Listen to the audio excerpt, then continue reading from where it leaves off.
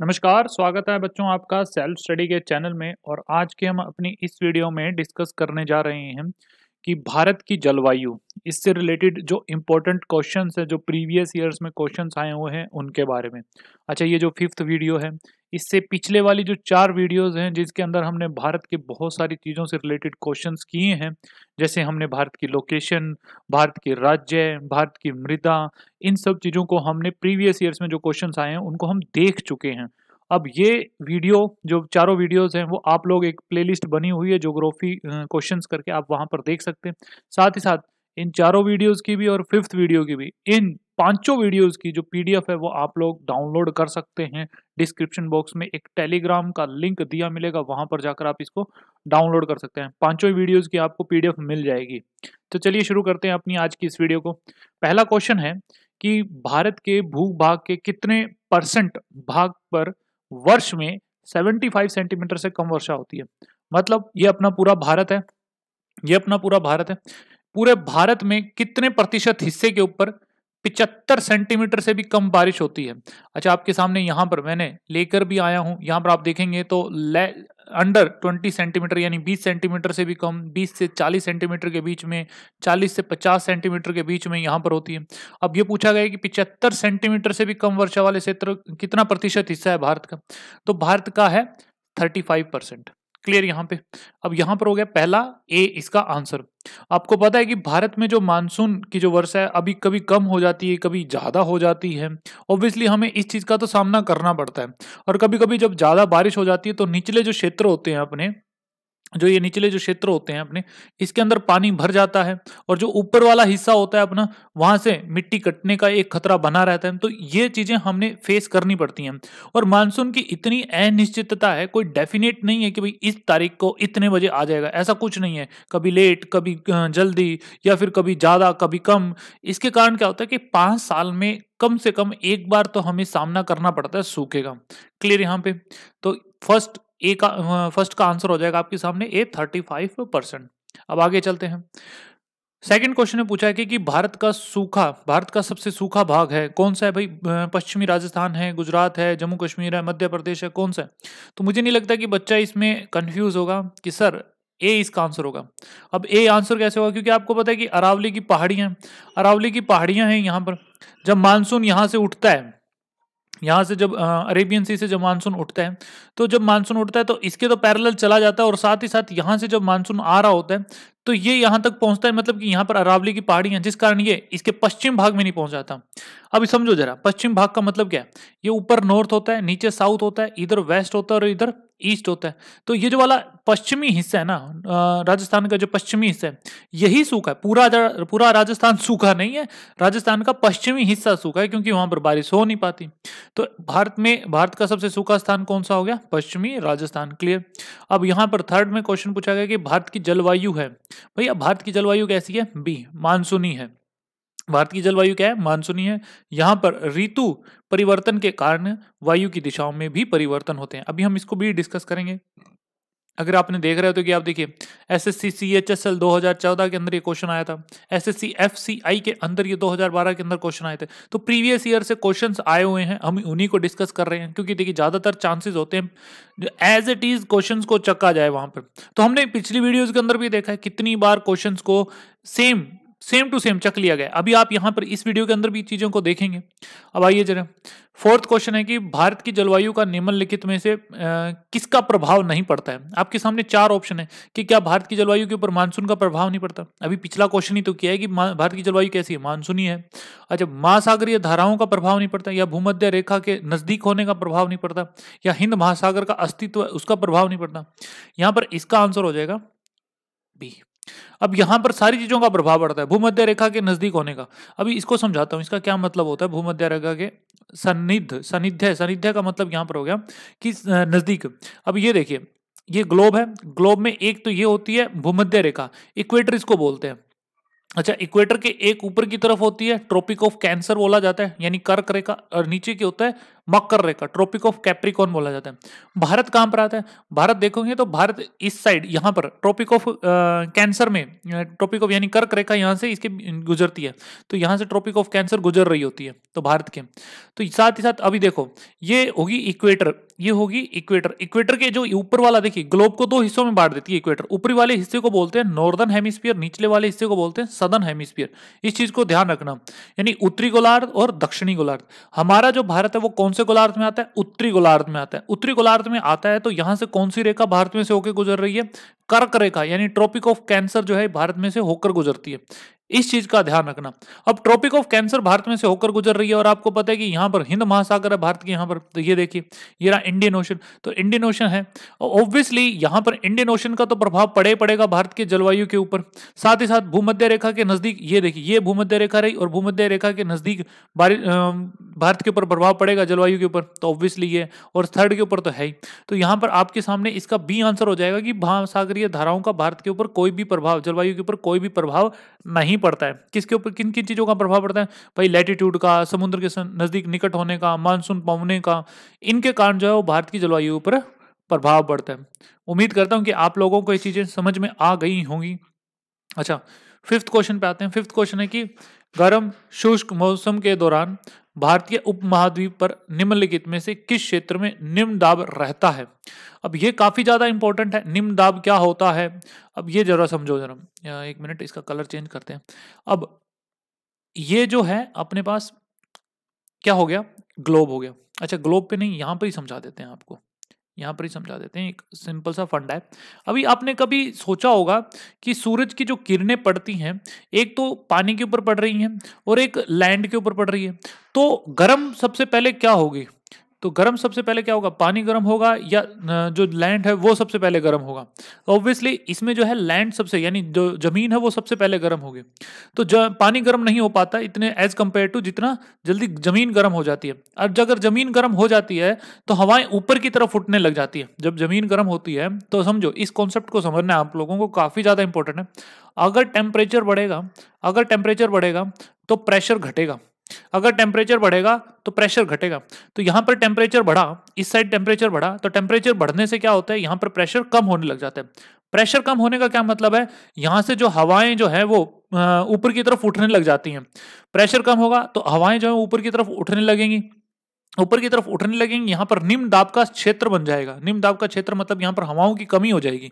अब यहाँ पर जब हवाओं की कमी हो जाती है तो इस चीज़ को बैलेंस करने के लिए कहीं और से हवाएँ आ रही होती हैं, वो एक्चुअल में आ रही होती हैं समुद्र की तरफ़ से। तो ये वाला कॉन्सेप्ट काफ़ी ज़्यादा इंपॉर्टेंट है क्लाइमेट के एक अलग से जब ये कॉन्सेप्ट लेंगे तो वहाँ समझाऊँगा। तो इस चीज़ को समझ रहे हो कि टेम्परेचर बढ़ने से प्रेशर घटेगा प्रेशर घटने से हवाएँ ऊपर की तरफ़ उठेंगी, हवाएँ ऊपर की तरफ़ उठने से वहाँ पर निम्न दाब का क्षेत्र बनेगा। क्लियर अब पूछा यह गया है कि गर्म और शुष्क मौसम के दौरान भारतीय उपमहाद्वीप पर निम्नलिखित में से किस क्षेत्र में निम्न दाब का क्षेत्र रहता है? अब आपको समझ में आ गया निम्न दाब का क्षेत्र होता क्या? तो वो होता है अपने पश्चिमोत्तर भारत में तो यानी इस साइड में। पाकिस्तान और ये वाला जो हमारा पश्चिमोत्तर भारत होता है, यहाँ पर निम्न दाब का क्षेत्र बनता है। क्लियर अब आपको पता है कि 21 मार्च के बाद सूर्य का जो है उत्तरायण, यानी अपनी तरफ़, भारत की तरफ़ बढ़ने की स्टार्ट हो जाता है। जून के आधे आते जून के मध्य में आते आते भारत में बहुत ज़्यादा गर्मी बढ़ती है। अब देखो, जब गर्मी बढ़ जाती है ना भारत के अंदर इस कॉन्सेप्ट को समझ लो कि भारत के अंदर जब गर्मी बढ़ रही है या फिर कहेंगे इस साइड अपने ट्रॉपिक ऑफ़ कैंसर की तरफ़ या सूरज की तरफ़ आगमन होता है तो यहाँ पर गर्मी बढ़ने लग जाती है। गर्मी बढ़ने के कारण धरती गर्म होती है। धरती गर्म होती है तो हवाएँ ऊपर उठती है। हवाएँ ऊपर उठने के कारण यहाँ पर जो है निम्न दाब का क्षेत्र बनता है। निम्न दाब का क्षेत्र बनने से जो यहाँ पर जो समुद्र में जो हवाएँ थी, वो भारत की तरफ़ चलनी स्टार्ट हो जाती हैं। भारत की तरफ़ चलनी स्टार्ट हो जाती हैं। देखिए जो हवा है, वो उच्च दाब से निम्न दाब की तरफ़ जाती है। हवा जो है, वो हाई प्रेशर से लो प्रेशर की तरफ़ जाती है। तो यहाँ पर था इतना एज कंपेयर टू देखिए, यहाँ पर भी लो प्रेशर था, क्योंकि सूरज की किरणें तो यहाँ पर भी पड़ रही हैं, लेकिन ज़मीन ज़्यादा जल्दी गर्म होती है तो इसलिए यहाँ पर ज़्यादा निम्न दाब का क्षेत्र है। तो ये जो हवाएँ जो है, वो इस तरफ़ समुद्र से धरती की तरफ़, धरती की तरफ़ चलनी स्टार्ट हो जाती हैं। और धरती की तरफ़ चलनी स्टार्ट हो जाती हैं तो आप देखेंगे तो यहाँ पर पानी है। पानी जब गर्म होता है तो इसमें जल वाष्प यानी वाटर वेपर होती हैं। तो वाटर वेपर ऊपर उठ रही होती हैं। वाटर वेपर जब उठ, ऊपर ऊपर उठ जाती हैं तो यहाँ पर निम्न दाब के क्षेत्र की तरफ़ ये इधर बढ़ने लग जाती हैं। इधर बढ़ने के कारण यहाँ पर धरती पर पहुँचने के बाद ये बारिश करनी स्टार्ट कर देती हैं। क्लियर तो यही रीजन होता है कि जब मानसून जो है, वो यहाँ पर एक जून से हमारे देश में आगमन हो जाता है। तो यहाँ पर डेट भी लिखी गई है। क्लियर उम्मीद है कि आप लोगों को कॉन्सेप्ट समझ में आ रहा होगा। बहुत सारी चीज़ें हैं, काफ़ी ज़्यादा चीज़ें को हम कवर करने वाले हैं यहाँ पर। अच्छा पूछा गया है कि दक्षिण पूर्व व्यापारिक हवाएँ बारिश के मौसम में भारतीय उपमहाद्वीप के किसके कारण आकर्षित होती हैं? भाई, किसके कारण आकर्षित होती हैं? उत्तर, पश्चिम भारत में कम वायुदाब होने के कारण। तो ए इसका आंसर हो जाएगा यहाँ पर। ये फिफ्थ हो गया अपने पास। फिफ्थ का क्या आंसर हो गया? सी हो गया। ये सिक्स हो गया। सिक्स का क्या आंसर हो गया? ए हो गया। और दोनों ही क्वेश्चन एक दूसरे से रिलेटेड हो गए। अब सेवन्थ क्वेश्चन की तरफ़ चलते हैं। सेवन्थ क्वेश्चन में पूछा गया है कि अक्टूबर और नवंबर के महीने में भारी वर्षा होती है। आपको पता है कि जो विंटर यानी सर्दियों का जो मौसम होता है, उसमें भी बारिश हो रही होती है। तो उसमें बारिश, एक तो यहाँ पर वेस्टर्न डिस्टर्बेंस के कारण हमारे देश में बारिश होती है। वेस्टर्न डिस्टर्बेंस कभी समझाएँगे आप लोगों को? एक और चीज़ होती है। देखो, अक्टूबर, नवंबर के महीने में भारी वर्षा, अब यहाँ पर पूछा कि गारो खांसी जयंतिया यहाँ पर ज़्यादा होती है, या छोटा नागपुर का पठार यहाँ पर ज़्यादा होती है, या कोरोमंडल तट पर यहाँ पर ज़्यादा होती है मालवा के पठार यहाँ पर ज़्यादा होती है? तो आंसर है यहाँ पर कोरोमंडल तट पर होती है। रीज़न क्या होती है? देखिए, आपको है अक्टूबर नवंबर के महीने में ड्राई हवाएँ चलती मतलब कि सूखी हवा चल रही होती। क्यों? क्योंकि जो वहाँ पर ठंड होती है, अब ये ऊपर से हवा, यानी इस तरफ़ की तरफ़ आ रही होती है। अब इस तरफ़ की तरफ़ क्यों आ रही होती है? अभी समझो जरा।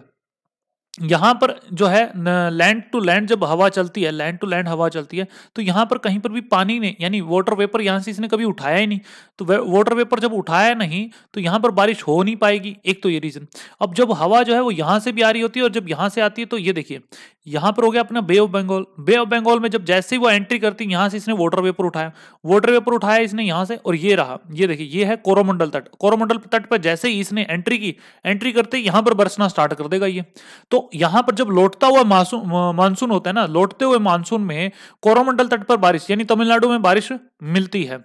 क्लियर। अब बात करें कि जब मानसून का आगमन होता है ना, जब मानसून का आगमन होता है यहाँ यहाँ से मानसून का आगमन होता है मानसून का जब आगमन होता है जब यहाँ पर तमिलनाडु हो गया तो ये वाला जो एरिया होता है ना, ये बारिश इतनी ले नहीं पाता। क्यों नहीं ले पाता? क्योंकि यहाँ पर है, अपने पास पश्चिमी घाट पश्चिमी घाट पे यहाँ पर है पहाड़ियाँ, ये ऊँची ऊँची हैं तो इसलिए बारिश हो जाती है यहाँ पर, और इस साइड जो है वो सूखा पड़ जाता है। तो यहाँ पर मतलब मानसून की शुरुआत में तो तमिलनाडु में बारिश होती नहीं, लेकिन जब मानसून लौट रहा होता है तो तमिलनाडु में बारिश होती है। रीजन क्या है? क्योंकि यहाँ से जब हवाएँ ऊपर की तरफ़ से नीचे की तरफ़ आ रही होती हैं तो ये पानी से होकर आती हैं तो यहाँ पर बारिश करवा देती हैं। क्लियर यहाँ पे? तो सेवंथ का आंसर हो जाएगा आपके सामने सी कोरोमंडल तट। इसे लौटता हुआ मानसून के दौरान भी बारिश होती है तो इसलिए कहा जाता है, इसका ध्यान रखना अच्छा उत्तर पूर्वी मानसून में किस प्रदेश में? अब उत्तर पूर्वी का मतलब समझो जरा क्या ये होता है नॉर्थ ये होता है वेस्ट ये होता है साउथ और ये होता है ईस्ट उत्तर पूर्वी यानी ये वाला एरिया ये वाला एरिया होता है, ठीक है? इस वाले एरिया से जब हवा आ रही होती है, अभी मैंने आप लोगों को समझाया, ऊपर वाले एरिया से जब हवा आती है तो इसको उत्तर पूर्वी कहा जाता है, उत्तर पूर्वी मानसून कहा जाता है। तो मुझे बताओ, यहाँ पर बारिश कहाँ पर होगी? भाई, तमिलनाडु में होगी, असम में होगी, केरल में होगी, पश्चिम बंगाल में होगी? नहीं, यहाँ पर बारिश होगी तमिलनाडु के तट पर, ध्यान रखना। तो यहाँ पर आंसर हो जाएगा आपके सामने ए क्लियर अब आते हैं अपना नाइन्थ क्वेश्चन पे। नाइन्थ क्वेश्चन में कहा गया है कि आपके सामने मिलान करने, खैर, ये आप चीज़ों, आप लोगों को ये चीज़ें आनी चाहिए कि भैया देखिए मैंग्रोव का है? मैंग्रोव तो है पश्चिम बंगाल में। मैंग्रोव कहाँ हो गए पश्चिम बंगाल में। और भाई समशीतोषण कहाँ है? मानसून कहाँ है? उष्ण कटिबंधीय सदाहरित इसका मिलान करना है। तो ये आपके सामने आंसर मैंने रख दिए हैं। ये चीज़ें आप लोगों को एक तरीके से कह सकते हैं कि फिंगर टिप्स पे होनी चाहिए चीज़ों को। क्लियर ये आया हुआ है S S C C G L दो हज़ार बारह के अंदर ये क्वेश्चन आया है। अब आगे चलते हैं। आगे पूछा गया है कि टेंथ क्वेश्चन में वायुमंडल में प्राय गर्मी कहाँ से होती है? कभी आपने सोचा है कि हमारे जो धरती में जो होता है, अरे ये क्या है? एक मिनट। ये जो मैं यहाँ पर ग्लोब बनाता हूँ, ठीक है? आपने कभी सोचा है कि जो हमारी जो धरती है, इसमें गर्मी का मेन कारण क्या है? गर्मी का मेन कारण यहाँ पर क्या है? भाई सूरज है, सूरज की किरणें हैं, क्या इसके कारण होता है? एक तो ये ग्लोब नहीं बन रहा यार। एकदम सही से ए उम्मीद करता हूँ कि अब इस बार मैंने सही बनाया हो। अच्छा यहाँ पर आप सोचिए, ये जो अपनी धरती है, अब ये जो धरती है यहाँ पर जो है, वो सूरज की किरणों से गर्म हो जाती है क्या ये? कभी आपने सोच के देखा? तो ये देखिए, यहाँ पर सूरज देवता बना देते हैं। यहाँ पर सूरज देवता है, ठीक है? अब सूरज देवता ने तो अपनी किरणें यहाँ पर भेज दी। ये सूरज देवता ने अपनी किरणें यहाँ पर भेजी। अब जब किरणें यहाँ पर भेजी तो धरती में एंटर की। एंटर करने के बाद क्या धरती गर्म हो जाती है? नहीं, समझो जरा। जो धरती में यहाँ पर एरिया है ना ये जो एरिया है, ये ज़मीन है, ये क्या करती है? धरती अपने अंदर इन किरणों को अवशोषित कर लेती है, यानी सोख लेती है। सोख लेने के बाद अब क्या होता है? एक टाइम पीरियड होता है कि भाई इतना सोखने के बाद अब वो जो किरणें हैं, अब उसको जो है वो वापस भेजा जाए, अब उसको जो, वापस भेजा जाता है क्लियर अब जब वापस भेजा जाता है, समझो जरा, सूरज की किरणें धरती पर आती हैं, धरती पर आने के बाद धरती उसको सोख लेती है, सोख लेने के बाद धरती उस किरण को, जो एनर्जी उसने सोखी है, उसको वो वापस भेजती है। अब जब वो वापस भेजती है तो यहाँ पर जरा देखो, यहाँ पर होता है अपने, आपको पता है यहाँ पर आपने ग्लोबल वार्मिंग सुना होगा। या ग्लोबल वार्मिंग किसके कारण बढ़ रही है? कार्बन डाइऑक्साइड के कारण बढ़ रही है। देखो कार्बन डाइऑक्साइड एक लिमिट के अकॉर्डिंग तो हमें ज़रूरत होती है। एक बैलेंस होता है, भाई कार्बन डाइऑक्साइड ना हो तो जो है धरती गर्म नहीं हो पाएगी। तो कार्बन डाइऑक्साइड की ऑब्वियसली ज़रूरत होती है, लेकिन एक लिमिट में ज़रूरत होती है। अब जब एनर्जी जब यह ऊपर की तरफ़ जाती है तो ये कार्बन डाइऑक्साइड है ना तो इसको सोख लेता है, इसको बाहर नहीं जाने देता। कुछ एनर्जी बाहर चली जाती है, लेकिन कुछ एनर्जी को अपने अंदर रख लेता है, जिससे जो है, जो वातावरण जो है धरती का, वो गर्म हो जाता है। तो इसको क्या करते हैं कि धरती को एक तरीके कहते हैं कि ये जो कंबल कहा जाता है, कि धरती को गर्म रख लेता है। ना ज़्यादा ठंडा होने देता है, ना ज़्यादा गर्म होने देता है तो बहुत ज़्यादा इंपॉर्टेंट होती है। अब क्या होता है कि गर्मी किसके कारण बढ़ी? एक्चुअल में गर्मी बढ़ी इस टेरेस्ट्रियल रेज के कारण। भाई, यहाँ से जब अगर किरण ऊपर उठेंगी, अगर इसको बाहर नहीं निकलने दिया गया ना, अगर यहाँ पर कार्बन डाइऑक्साइड ज़्यादा हुई, कार्बन डाइऑक्साइड क्या हुई? ज़्यादा हुई। एक मिनट, या अगर यहाँ कार्बन डाइऑक्साइड ज़्यादा होगी, इन किरणों को ऊपर नहीं जाने दिया तो ये बहुत ज़्यादा भभकने मतलब कि एक तरीके से धधकने लग जाती है, इतनी ज़्यादा गर्म हो जाती है। तभी तो कहते हैं कि ग्लोबल वार्मिंग हो रही है, जिससे ग्लेशियर पिघल रहे हैं तो ग्लोबल वार्मिंग कम करो, टेम्परेचर बढ़ने मत दो। तो यहाँ पर यही कारण है कि कार्बन डाइऑक्साइड को कम करने का उसको खत्म करने का काम किया जा रहा है। तो भारत आ, मतलब कि यहाँ पर वायुमंडल में प्राय गर्मी कहाँ से आती है? तो सूर्य अपने विकिरण विकिरण के द्वारा आती है समझो जरा। अब यहाँ पर पृथ्वी द्वारा प्राप्त प्रवेशी शोर विकिरण यानी सूर्य ताप से अब एक चीज़ होती है कि सूरज से धरती पर किरणें कैसी आती हैं? लघु तरंगों के रूप में आती हैं। और पृथ्वी से आसमान की तरफ़ विकिरणें जो है वो किस वे में जाती हैं? वो दीर्घ तरंगों के रूप में जाती है। तो क्वेश्चन ये भी पूछ लिया जाता है। एक लघु तरंग होती है, एक दीर्घ तरंग होती है। तो लघु तरंगों के रूप में होते हैं। जहाँ पृथ्वी स्वयं गर्म होने के बाद, जब पृथ्वी गर्म हो जाती है, के बाद विकिरण एक पिंड बन जाता है और वायुमंडल में दीर्घ तरंगों के रूप में ऊर्जा को विकिरण यानी निकालने लग जाती है। यही ऊर्जा वायुमंडल के नीचे से गर्म हो यही यही जो ऊर्जा होती है वायुमंडल को नीचे से गर्म करती है और इस प्रक्रिया को पार्थिव विकिरण कहा जाता है। काफ़ी इंपॉर्टेंट है। दीर्घ तरंग विकिरण वायुमंडल गैस मुख्यतः कार्बन डाइऑक्साइड अन्य ग्रीन हाउस गैसों द्वारा शोषित कर ली जाती है। जो यहाँ पर गैस होती है ना उनको इनको पकड़ के लग, पकड़ लेती हैं। अब यहाँ पर क्या होता है कि एक लिमिट के अकॉर्डिंग पकड़े तो ठीक है, भाई इसको गर्म होने दो। अगर इन्होंने सारी ही पकड़ ली, कुछ भी बाहर नहीं जाने दिया। मतलब मानो कि सूरज ने 100 परसेंट एनर्जी भेजी 100 परसेंट इसने सोख ली धरती ने, अब तो ये धरती बहुत गर्म हो जाएगी। अगर इसने ये सारी की सारी एनर्जी एनर्जी जो है वापस नहीं भेजी तो। अब यहाँ पर एनर्जी जब वापस भेजते हैं तो अगर यहाँ जो ये वायुमंडल है, इसने सारी एनर्जी अगर सोख ली तो ये तो धरती और गर्म हो जाएगी भैया। तब ये क्या होता है कि थोड़ी बहुत एनर्जी बाहर चली जाती है, थोड़ी बहुत अपने पास रखते हैं बाकी एनर्जी को बाहर भेज दिया जाता है। तो ये कहते हैं कि कार्बन डाइऑक्साइड अन्य ग्रीन हाउस गैस है, उनके द्वारा अवशोषित कर ली जाती है। इस प्रकार वायुमंडल पार्थिव पार्थिव विकिरण द्वारा अप्रत्यक्ष रूप से गर्म होता है, न कि सीधे सूर्य ताप से। तो काफ़ी ज़्यादा इंपॉर्टेंट है ये। अब आते हैं इलेवेंथ क्वेश्चन पे। चेन्नई को दक्षिण पश्चिम मानसून के से अन्य स्थानों की अपेक्षा कम वर्षा मिलती है। अभी देखिए, अभी मैंने आप लोगों को थोड़ी देर पहले कराया था ना कि ये जो तमिलनाडु वाला क्षेत्र हो गया, ये जो चेन्नई वाला क्षेत्र हो गया, यहाँ पर आपको पता है, यहाँ पर पड़ता है पश्चिम घाट। यहाँ पर पड़ता है पश्चिम घाट। पश्चिम घाट के कारण क्या होता है, जब मानसून यहाँ से उठता है, मानसून यहाँ से उठता है तो ये जो पहाड़ियाँ हैं, यहाँ पर ही बारिश हो जाती है। इस साइड जो है वो वृष्टि वृष्टि क्षेत्र कहलाते हैं। तो वृष्टि क्षेत्र कहलाने के कारण जो है जो तमिलनाडु हो गया, जो चेन्नई का क्षेत्र हो गया, यहाँ पर जो बारिश हो नहीं पाती। तो यहाँ पर रीजन क्या है? इसका सारे ही रीजन है। मानसून जो है वो कोरोमंडल तट के यहाँ पर एक तो पैरेलल चल पड़ता है, एक तो ये, चेन्नई इतना ज़्यादा गर्म हो जाता है कि वो कंडेंसेशन हो नहीं पाती वहाँ पर। वे अब तट पवने होती हैं तो सारा ही रीजन यहाँ पर हो जाता है। और वृष्टि क्षेत्र बनता है, इस चीज़ का ध्यान रखना कि बारिश जो है वो यहाँ पर पश्चिमी यहाँ पर अपने पश्चिम घाट पर यहीं पर ही हो जाती है बारिश और यहाँ पर इनके लिए कुछ बचता नहीं है। अब यहाँ एक रीजन और होता है कि अब अक्टूबर, नवंबर के महीने से आपको पता है कि जो ये मानसून लौटता हुआ मानसून होता है तो यहाँ पर बारिश करवा देता है। ये हमने पिछले क्वेश्चन में देखा है। अच्छा ट्वेल्थ क्वेश्चन है कि दक्षिण पश्चिम मानसून की अवधि के दौरान तमिलनाडु सूखा रहता है। अभी थोड़ी देर पहले हमने किया है, क्यों रहता है? यह वृष्टि छाया क्षेत्र होता है। वृष्टि छाया क्षेत्र मतलब कि जहाँ बारिश ना पहुँचे, उसे वृष्टि छाया क्षेत्र कहते हैं। तो सीपीओ 2012 के अंदर ये क्वेश्चन आया हुआ है। क्लियर? ये चीज़ें मैंने आप लोगों को करवा दी है। शुष्क रहने का कारण है कि वृष्टि छाया क्षेत्र में स्थित होना है। इसका दूसरा कारण है कि तमिलनाडु तट का बंगाल की खाड़ी की मानसून पवनों का पैरल चलती है उसके। यदि हाँ तो इसका आंसर हो जाएगा अपने सामने ए। थर्टींथ क्वेश्चन है कि गुवाहाटी से चंडीगढ़ तक मानसून वर्षा की प्रवृत्ति क्या रहती है? भाई, गुवाहाटी से मानसून चलता है, यहाँ से मानसून जब चलता है, जब यहाँ से मानसून चलता है तो चंडीगढ़ तक जो जिस तरीके से चल रहा था, उसमें क्या होता है? भाई, बढ़ रहा होता है कि मानसून यहाँ पर इसने बारिश यहाँ पर कम कराई तो यहाँ पर और ज़्यादा कराएगा, या फिर यहाँ ज़्यादा कराई इसने, यहाँ कम कराएगा। ऑब्वियसली सबसे पहले तो यहाँ सबसे ज़्यादा होगी, यहाँ धीरे धीरे कम होती चलेगी, कम होती चलेगी। तो चंडीगढ़, गुवाहाटी से लेकर चंडीगढ़ तक जो मानसूनी वर्षा होती है, उसकी प्रवृत्ति क्या रहती है? हार्शमान यानी कि घटती रहती है। तो इसका आंसर हो जाएगा सी। फोर्टीन क्वेश्चन पूछा गया है कि निम्नलिखित में से कौन सा भारत का सबसे अधिक आर्द्र स्थान है तो है मासीन राम या माउसिन राम। मेघालय में पड़ता है ये सबसे ज़्यादा वर्षा वाला क्षेत्र होते हैं, क्योंकि आपको पता है कि यहाँ पर गारो खासी जयंतियाँ हैं, वो पहाड़ी होती हैं तो इस तरीके से एक कुंपी नुमा एक संरचना बना लेती है कि यहाँ पर जो मानसून है, यहाँ के फंस जाता है, पहाड़ी तो है, फंस जाता है, निकल नहीं पाता, इसलिए यहाँ पर बारिश ज़्यादा हो जाती है। फिफ्टींथ क्वेश्चन है कि वर्ष में 50 सेंटीमीटर से कम वर्षा वाला क्षेत्र है। कौन सा है यहाँ पर? तो इसका आंसर हो जाएगा बी, कश्मीर से ले, कश्मीर में ले। 50 सेंटीमीटर से भी कम वर्षा वाले क्षेत्र हो गए। कश्मीर में ले हो गया, पश्चिमी राजस्थान हो गया, कच्छ और सौराष्ट्र तट हो गया, तमिलनाडु का रॉयल सीमा क्षेत्र हो गया। अब पश्चिम अब, आपको पता है कि 2019 पाँच अगस्त 2019 के में क्या किया गया? जो, जम्मू कश्मीर है, उसको दो हिस्सों में डिवाइड कर दिया गया था। यूनियन टेरिटरी बना दिया गया था। जम्मू कश्मीर को एक यूनियन टेरिटरी बनाया गया जिसमें उसको विधानसभा दी गई। लेकिन जो लद्दाख एक दूसरी टेरिटरी यूनियन टेरिटरी बनाया गया था, उसमें विधानसभा नहीं है। तो इस चीज़ का ध्यान रखना।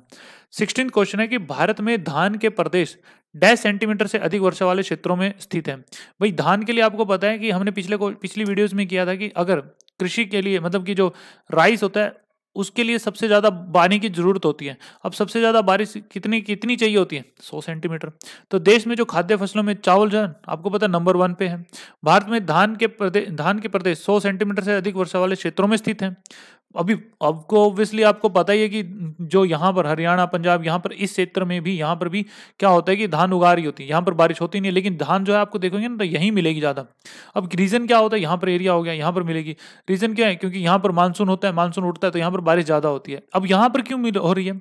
रीज़न ये है कि ऊपर से पानी आ रहा होता है, भैया। अफवाह सेंटर करेंगे ना, हम ड्रेनेज सिस्टम करेंगे तो आपको समझोगे तो ऊपर से पानी आ रहा होता है, जिसके कारण यहाँ पर भी बार, यहाँ पर भी पानी की अधिकता रहती है। तो ज़मीन से पानी निकालते हैं, नहरों का पानी होता है तो यहाँ पर भी धान की खेती होने लग गई है। क्लियर अब वन लाइनर कर लेते हैं, हमने क्वेश्चन से जो प्रीवियस ईयर्स में आए हुए थे, उनको कंप्लीट कर लिया, और ये वन लाइनर भी क्वेश्चन ये जो वन लाइनर है, वो भी आए हुए हैं, ऐसा नहीं है कि बेवजह इनको चका गए। फ़र्स्ट जो है कि भारत में दक्षिण पश्चिम मानसून का मौसम की अवधि क्या होती है? जून से लेकर सितंबर तक ये क्वेश्चन पूछा गया है। मानसून शब्द का तात्पर्य क्या हवाओं के रुख का बदलाव है इंपॉर्टेंट है। डैश मानसून हिंद मादा, हिंद महासागर से काफ़ी जलवाष्प लेकर आता है। कौन सा है? दक्षिण पश्चिम, जो हमने देखा है ना। भारत में गर्म मौसम की अवधि क्या है? मार्च से मई तक। भारत में ठंड के मौसम में अवधि क्या है? दिसंबर से फरवरी तक। भारत की जलवायु को मुख्य तौर पर किस प्रकार का कहा गया मानसून कहा गया है। भारत में मानसून के लौटने का समय की अवधि क्या होती है? अक्टूबर से नवंबर है। हमने विद मैप इस चीज़ को देखा है। और कहाँ पर बारिश होती है इस लौटते हुए मानसून में? कोरमंडल तट पर, तमिलनाडु में। इस चीज़ का ध्यान रखना। नॉर वेस्टर्स या काल बैसाखी, तड़ित झंझा या बिजली युक्त तूफ़ान है जो प्रमुख है कहा भारत और बांग्लादेश में। भारत के किस राज्य में सर्वाधिक वर्षा होती है? तो मेघालय में मासिन राम में इस चीज़ को हमने भी देखा है। क्यों होती है? क्योंकि यहाँ पर गारो खासी जयंतियाँ होती हैं। उस पहाड़ी में आकर मानसून फंस जाता है और वहीं पर बारिश करवा देता है। भारत के उत्तर पश्चिम भाग में शीतकालीन में किस कारण से वर्षा होती है। किस कारण होती है? इस चीज़ को ध्यान रखना पश्चिमी विक्षोभ, यानी वेस्टर्न डिस्टर्बेंस के कारण ये होती है वर्षा होती है। इस चीज़ को भी हम डिस्कस करेंगे अलग से टॉपिक में, क्योंकि यहाँ पर वीडियो और ज़्यादा लेंथी हो जाएगी अगर मैं इस चीज़ों को डिस्कस करने बैठा तो। अच्छा पूछा गया कि दक्षिण पश्चिम मानसून से भारत के पूर्वी तट की अपेक्षा पश्चिमी तट पर ज़्यादा वर्षा क्यों होती है? क्योंकि पश्चिमी घाट पर हवाओं को रोक, पश्चिमी घाट जो है हवाओं को रोकती है, जिससे बारिश होती है। पश्चिमी घाट में जो पहाड़ियाँ हैं, वो हवाओं को रोक लेती है, वहाँ पर जो है बारिश होने लग जाती है। और जिसकी पूर्वी घाट जो है वो सूखा रह जाता है। तभी तो कहा ना, तमिलनाडु में बारिश कम होती है।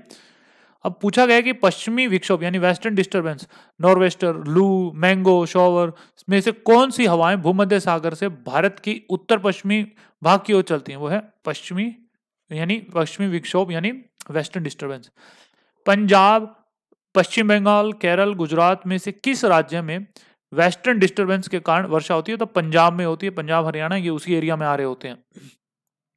पश्चिम तथा पूर्वी घाटों में पर्याप्त वर्षा होती है। जबकि दक्कन के पठार में बहुत कम वर्षा होती है। इसका कारण क्या है? क्योंकि एक वृष्टि छाया क्षेत्र है। अभी बताया ना, क्योंकि यहाँ पर बारिश नहीं हो पाती। जहाँ पर बारिश की एक तरीके से समझो, वृष्टि छाया क्षेत्र, यहाँ पर ये देखो, ये पहाड़ियाँ मानसून यहाँ से चला, मानसून यहाँ टकरा के यहाँ पर बारिश करवा दी, यहाँ पर बारिश नहीं हुई तो ये वृष्टि छाया क्षेत्र कहलाएगा। क्लियर यहाँ पे?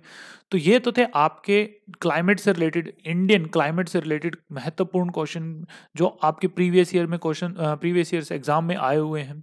और इस वीडियो की जो पीडीएफ है, वो आप लोगों को टेलीग्राम का एक लिंक दिया मिलेगा तो आप जाकर डिस्क्रिप्शन बॉक्स में है तो आप जाकर वहाँ से इसकी वीडियो डाउनलोड कर सकते हैं। साथ ही साथ वीडियो पसंद आई है तो लाइक और सब्सक्राइब ज़रूर करें चैनल को। वीडियो को लाइक करना होता है चैनल को लाइक नहीं करना होता, ठीक है?